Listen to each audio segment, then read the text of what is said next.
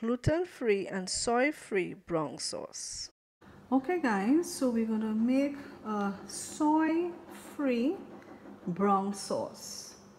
So normally you have what is called soy sauce, but we're not going to use anything that has soy in it to make this brown sauce. So let's get started. We're going to need about two cups of in this case I'm using chicken broth but you can use beef broth if you wish.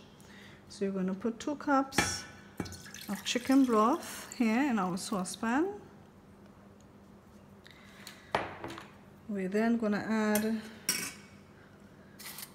one teaspoon of apple cider vinegar or you could also use one teaspoon of red wine vinegar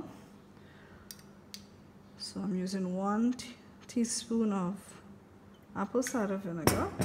We're also going to use one teaspoon of balsamic vinegar.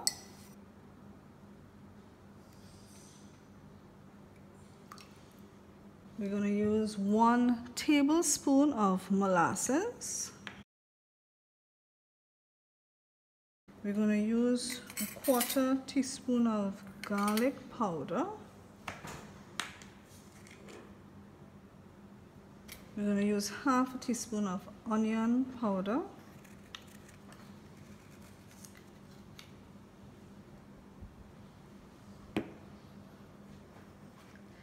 And we're going to use just a little, less than a quarter teaspoon of white pepper. So just a little.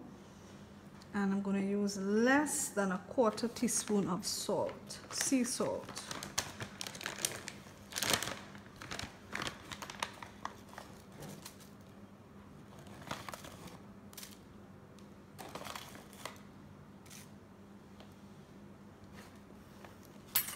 Now I also have to add fish sauce to this, but I'm not adding it at this point in time.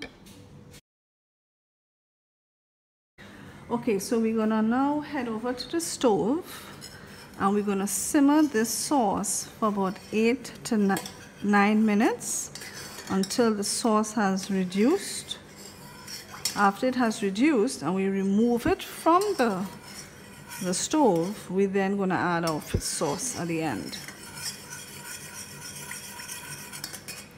So let's head over to the stove. So we will let this sauce reduce, simmer down. And after we remove it from the stove, like I said, we will then add the fish sauce to it. We will allow it to cool and then we will store in the fridge and use it as your alternative to soy sauce.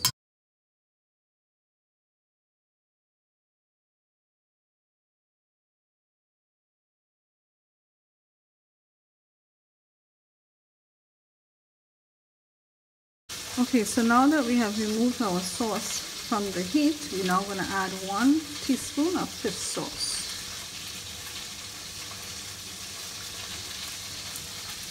Now after tasting my own, I felt it could have been more salty.